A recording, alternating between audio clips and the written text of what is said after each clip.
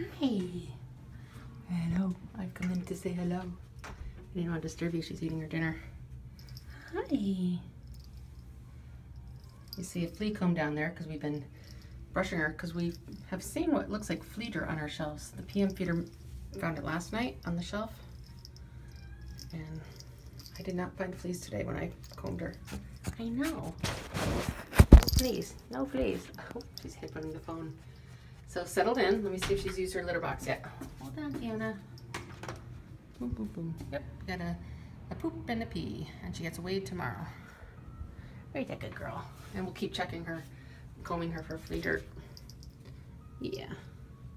You good girl. You good girl. Kitty mail. Boom. And up.